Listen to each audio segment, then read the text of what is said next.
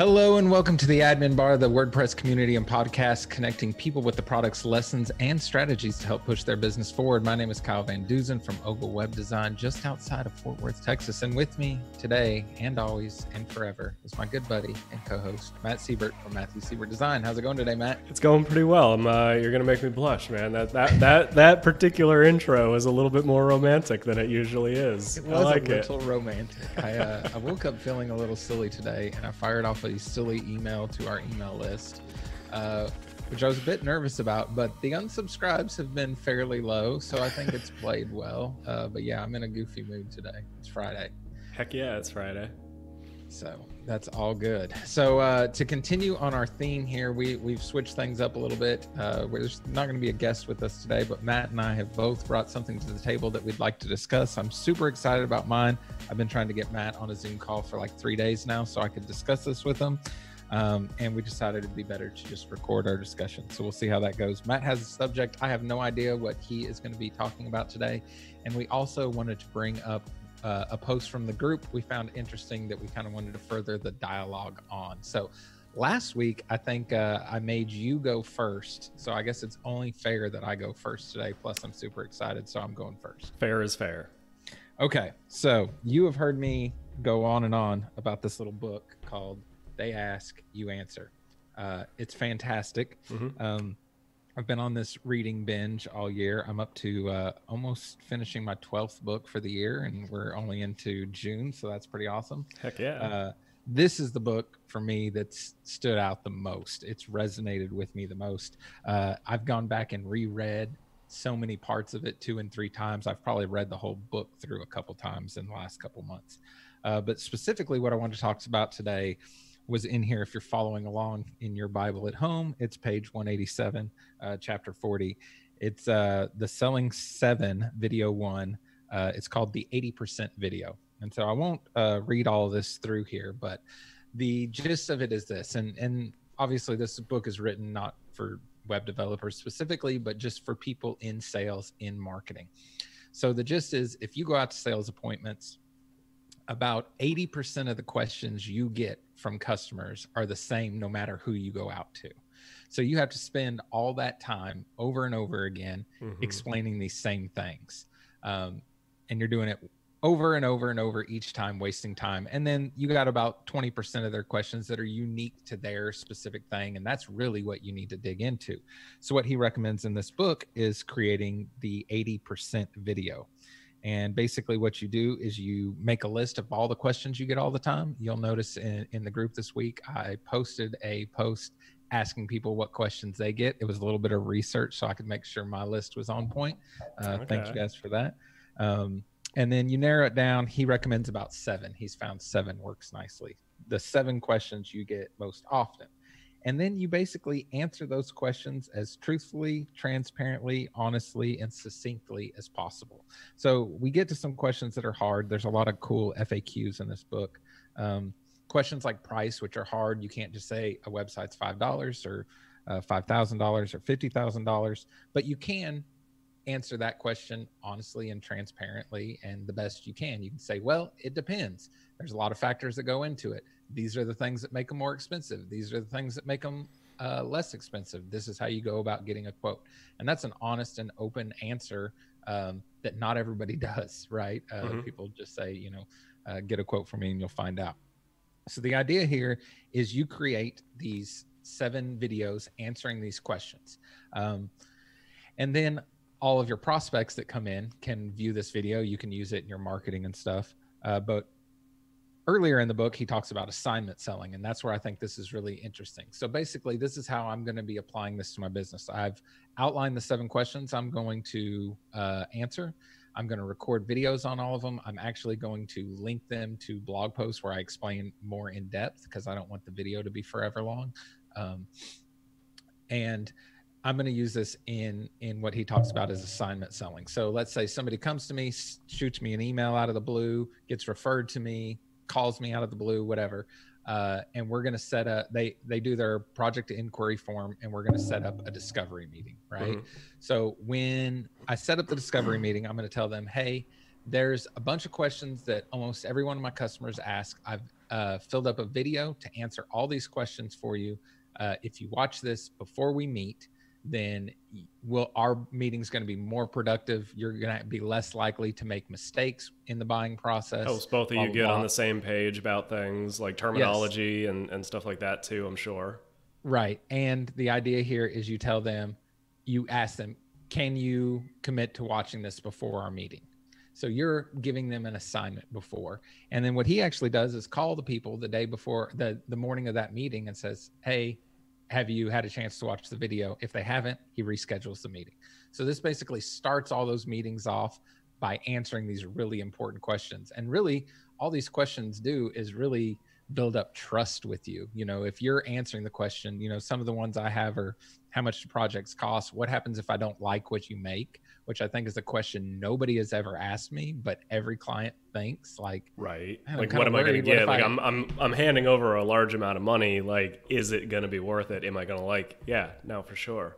Yeah. So my thought is I'm going to answer all these questions up front. They're going to have already spent probably 10 to 15 minutes uh, watching me in video form, kind of getting to know me, getting used to my personality and and how I answer things, and if they like the answers I have or not. So before I ever have that meeting, uh, they're going to have a lot more trust built up with me before we ever get there. So that's like my number one mission with my agency right now, is uh, is working on these. I posted this morning a, a blog post that's going to be one of these about email because I've had so many problems with customers not knowing how to handle email stuff. But so yeah, I'm super excited. If you if you don't have they ask you answer, uh, I would recommend picking it up. Uh, if you have it, I would recommend flipping to page 187 and rereading this little chapter. It's about three pages long. It's not bad, but uh, I think this is going to be an awesome thing for my agency. Very cool. Yeah, I can uh, I can definitely see that. I mean, I use. Um like my onboarding questionnaire sort of in a in a similar way i can sort of um, but it's basically like a, a way to uh, to kind of check to see if the client's invested enough to move forward so similarly if they don't watch the videos or if they don't have time or if they feel like it's a waste of time then it's probably not going to be a client that you're going to have a, a super good time working with. Right.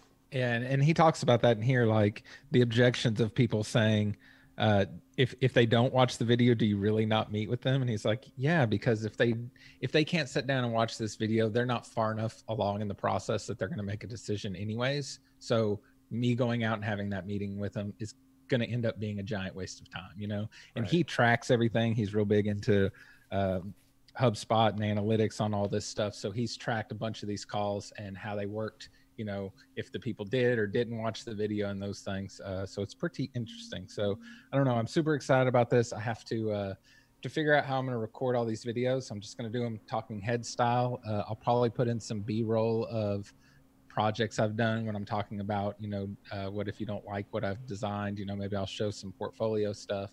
Uh, pricing i've put together a pricing guide so maybe i can show some excerpts from that. So i'll try to do a little production value in the videos, but I don't want to spend a lot of time editing and shit like that because I hate editing video. Yeah, that's what I'm. That's what I'm here for. At least for the uh, the admin bar. I'm not gonna edit. Can yours. I send you my OGAL videos too? No, no. And actually, it's funny uh, when you first started talking about this. I was like, well, okay, sit down in the meeting and somebody's gonna ask Kyle a question, and then Kyle's just gonna not say anything, hold up his phone, and just say, just, just hold it in front of him while it's it's playing.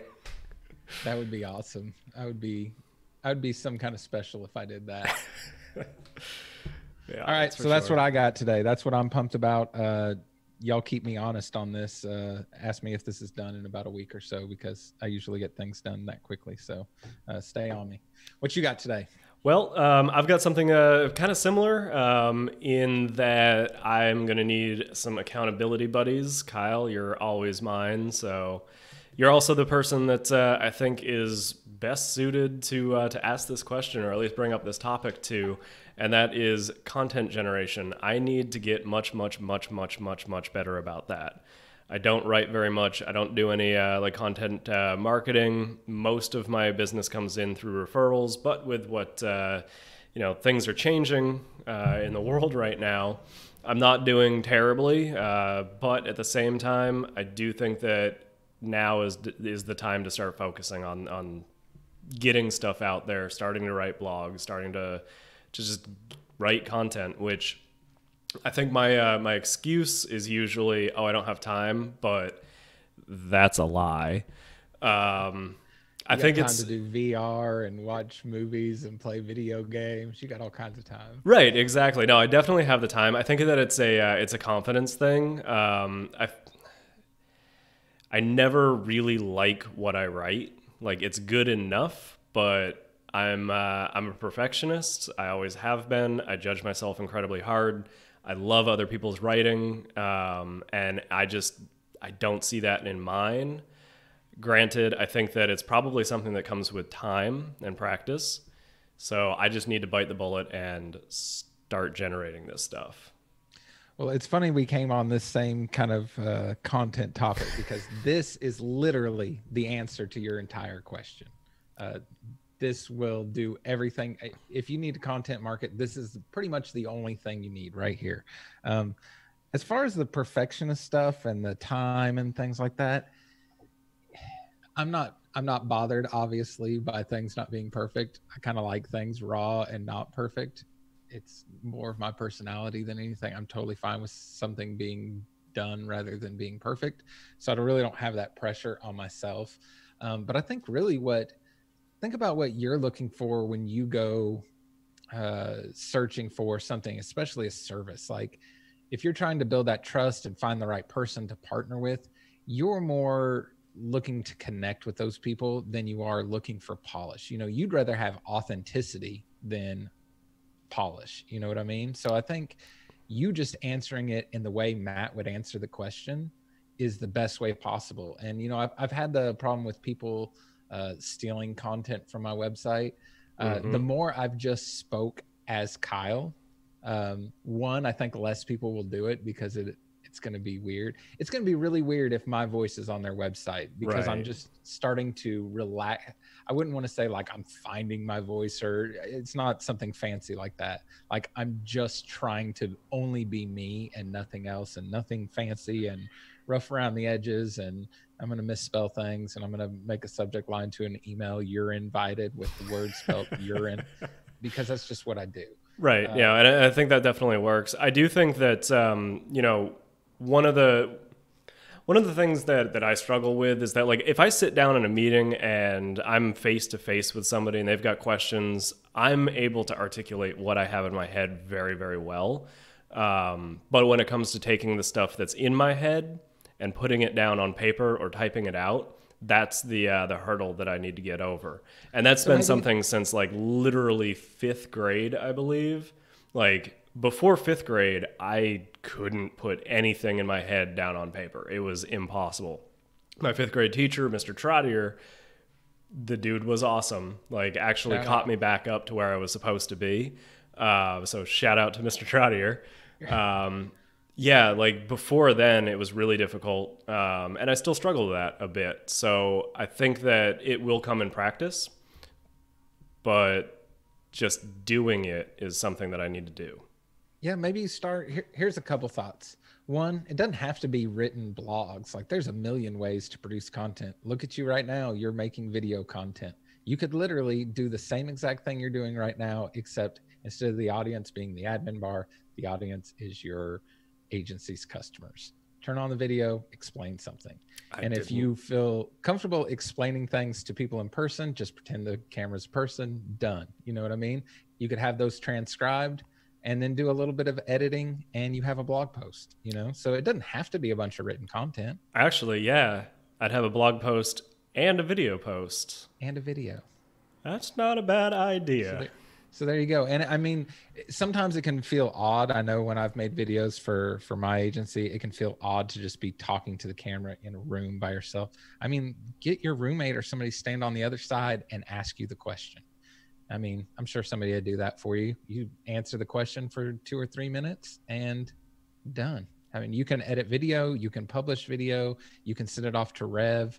Uh, they'll do like the the people made uh, transcriptions for like a dollar twenty five a minute, or you can do the auto generated ones for like twenty five cents a minute. I use the audio generated ones and then just quickly go through and edit. It's good enough for me. Uh, right. Uh, the, the the people one they do are like perfect, but um, you know it wouldn't cost you much of an investment at all and then you have all the content you need start putting it on youtube put it on your website i've put i've started putting a bunch of videos on my website that are just me talking like this. That's a really good idea. Yeah. I mean i definitely feel especially after you know doing the admin bar for so long that uh, I'm, I'm way more comfortable in front of a camera. So yeah i'm gonna give that a shot. it, it takes a whole lot less time to record a video than it does to write a blog post. Yeah. And more personality comes out, which I think like you know you sell yourself before your business. So yeah, yeah.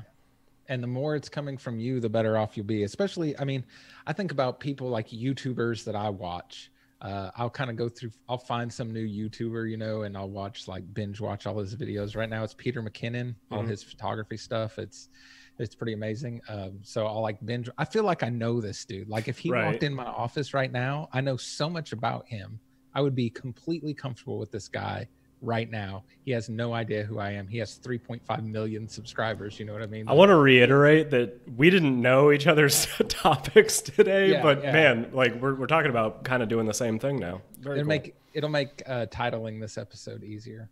That's for sure. but but when you develop that relationship with people, you don't even have to know what's going on, you know. And it's the same thing with like. Uh, funnel packs, right? So mm-hmm. people are signing up for my funnels and I'm emailing them all the time, nurturing them with all kinds of awesome emails that shh, Matt Davies wrote for me. Um, but I'm sending all these things. By the time they're done with that funnel, they know a lot about me and I didn't have to do that one on one interaction. So if you have a lot of those videos, people are going to know you right away. And, you know, one of my biggest criterias lately uh, with taking on customers has been like, how well do I get along with you? Like when we mm-hmm. jump on a call, d- does it feel comfortable or does it feel awkward? Um, and you'll weed out a lot of the people that would be awkward because you'll just repel people that don't like you and you'll attract people that do like you. And you don't want every customer; you want the right customers. So. Yeah, for sure. I mean, if if you if anybody looks at the uh, the their client list, like your best clients, or at least the ones where you know you're not frustrated working with, or like whatever, it, it typically, or at least it is for me, they're people that I'm like, you know what? I, I could go to a, a cookout with these guys and have a, right. a, a, good time. Like that's the that's the kind of client that I want. Yep. And I've been trying to like uh, figure out what the like common things are, but I think it's a lot of it's just personality. Like, right. Does me and this person I work with get along well? Just Interesting. There's my niche. People that can stand Kyle and me saying y'all and me saying sending emails with urine in the subject line. Like, if you can handle that, we're probably a good fit. Absolutely. Awesome. All right. So, yeah. bringing us into land here, we have a, uh, a post in the group. It actually just happened uh, this morning. Uh, Malakai had posted about client gifts. So, uh, gift, not gifts, not like animated pictures, uh, presents. Um, so he put in here, uh, not sure if it's appropriate, but was wondering if you wondering what ideas you guys have for gifts to clients upon project completion. Uh, this isn't every this isn't an every client sort of thing. We wrapped up a large mm-hmm. project. I would I feel like I should give them a gift. Typically, I don't go. Typically, I do go for a nice champagne, but this seems a little bleh. Plus, they do not drink alcohol. Would love to know your thoughts, please. Now, the first response and why this like really caught my eye is Karen had mentioned like be really careful doing this. There's a lot of ways you can upset customers or come off wrong when you do uh, gifts, and I think yeah. she made some really good points in here.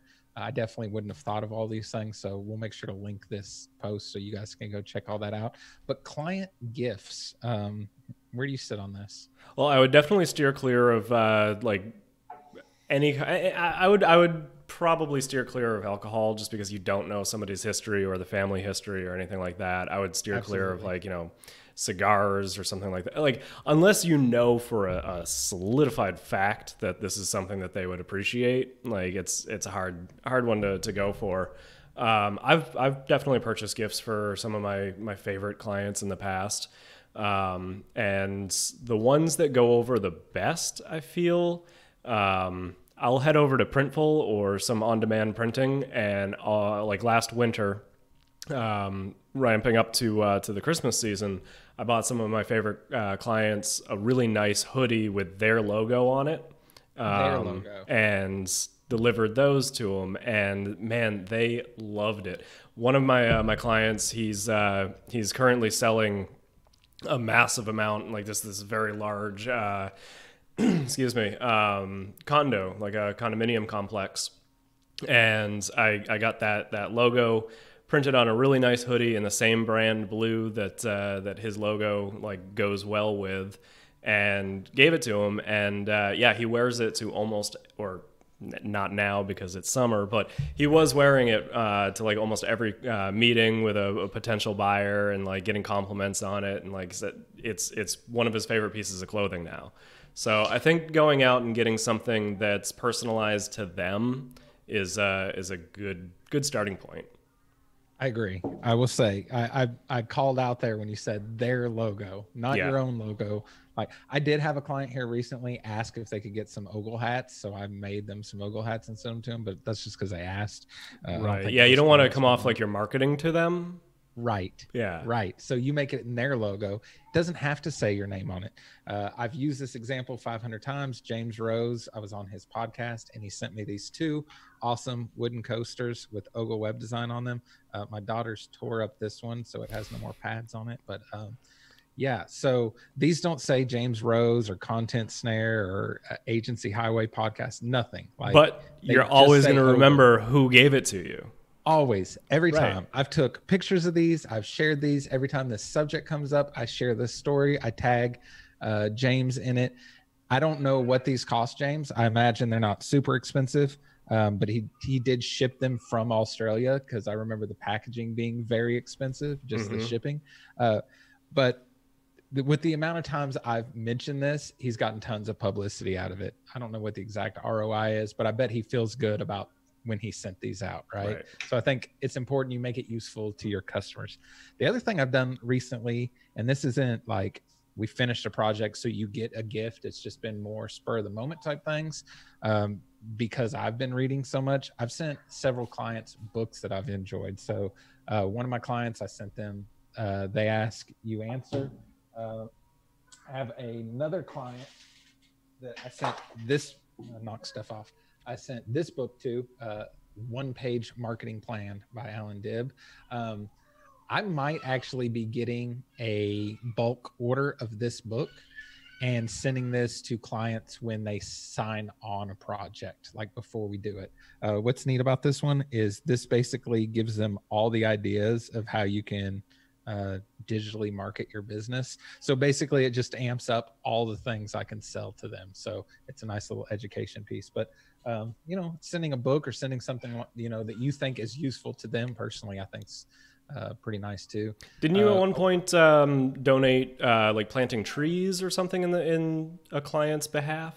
Yeah, so through the Arbor Day Foundation, uh, when I launch a client's website, uh, you can go to arborday.org, um, and you can basically you get a greeting card it costs like six bucks or whatever. Uh, but you get the greeting card. They uh, plant a tree somewhere. So, uh, but you can customize the greeting card and put like images or whatever you want inside of it. So I basically say, you know, um, congratulations on the launch of your new website. To offset some of the carbon footprint that we've created, putting you online, I've donated a tree uh, in in your name and sent that to them. Um, I think it's neat because I mean I think being green's good and mm-hmm. all that. Uh, my clientele that I've done it for so far, I don't think it struck a chord with them, but uh, I, am sure they weren't mad about it. You know, right? Like, how dare you plant a tree? Yeah, yeah. Um, but I think it's a I think it's a cool idea, and we get to plant a tree somewhere, so that's fun to me, and it's unique. You know, that's not, you know, getting getting a bottle of champagne is something they might expect, or you know, a, a sleeve of golf balls or something, you know, but that's something that you probably won't have many other companies doing for you. Oh, man, a, a sleeve of uh, golf balls with uh, the client's logo on them would be pretty cool. There you go. It can be done. Yeah, and I mean, you know, you can put you can put a logo on so many different items nowadays, Anything. like for for little cost. Um, that like yeah after working with with somebody for however long it takes you know that project to uh, to go over you usually have a pretty good idea of like who they are what their personalities or hobbies are. So i'm i'm willing to bet that you could probably find something that you could customize that they would use on a daily basis or at least very much appreciate. Right. I agree. So get to know your customers. Heck yeah. Send them something thoughtful All right, that's all I got. I'm done. Same. I'm out of here. I've used all my energy now. Yeah. Now, now you're gonna go take a nap. yeah. No, now I got a bunch of uh, videos to make. So Yeah, you we'll do. See. Got to get dolled up first, though. I don't think this attire is appropriate for Oh, my Kyle, you're pretty enough as you are. I know, right. This works for the admin bar. I'd like to be a little bit more presentable in my agency. All right. Did I leave anything out you wanted to make sure we got to? No, no, I think that uh, I mean, with what with this new conversational style, I think it's it's pretty easy just to, to end a a video whenever. But uh, I will say that uh, with everything that's going on right now, just everybody be good to each other. Absolutely. We can do better for sure. Heck yeah. All right, guys. Well, if this group helps you in any way, the easiest way to help us is to like and subscribe to our channel, share our content, and use our affiliate links. It's all free. It takes little time and it greatly helps support the show. We will catch you all inside the group. Bye bye.